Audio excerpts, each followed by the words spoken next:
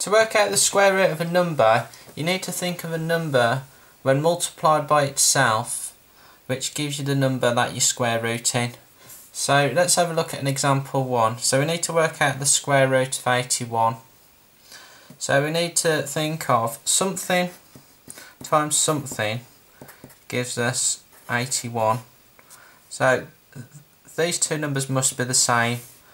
So the number we're looking for is 9 because 9 times 9 is equal to 81. So the square root of 81 is 9. So let's move on to example 2. Um, this time I need to work out the square root of 25. So this little symbol here means the square root.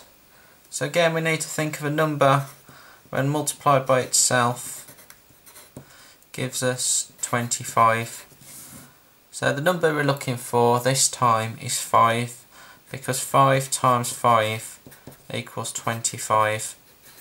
So the square root of 25 is 5.